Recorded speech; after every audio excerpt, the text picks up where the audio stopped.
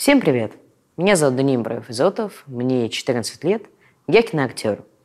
Я снимаюсь в кино уже где-то 9 лет, и мне это очень нравится, и за мою фильмографию я заработал большое количество ролей, и из них 20 главных ролей.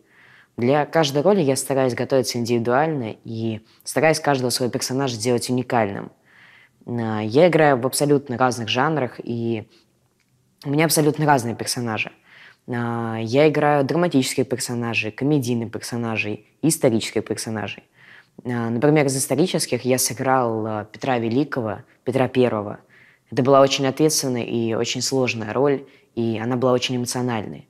Петр Великий, нужно было, во-первых, его правильно показать и продемонстрировать зрителю.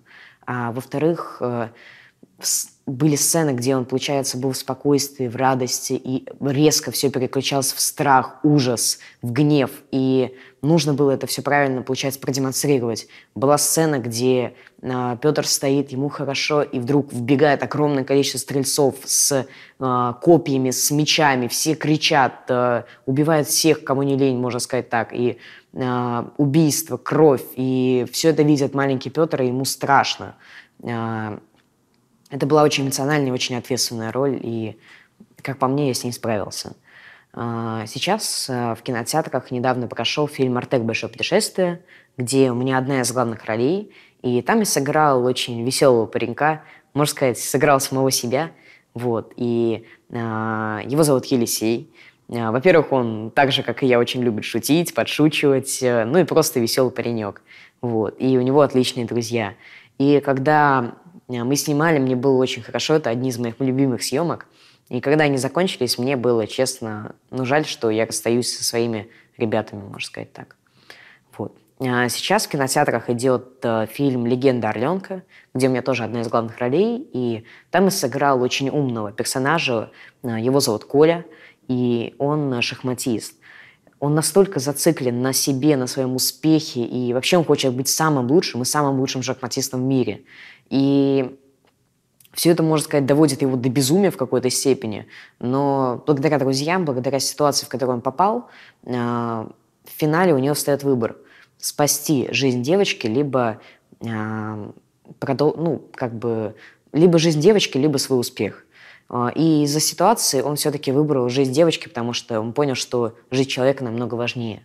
Вот. И я играю не только положительных героев, я сыграл отрицательного персонажа. Это было очень необычно и интересно. И вначале я как бы такой весь добрый, позитивный, вообще белый ангелочек, который даже мухи не обидит.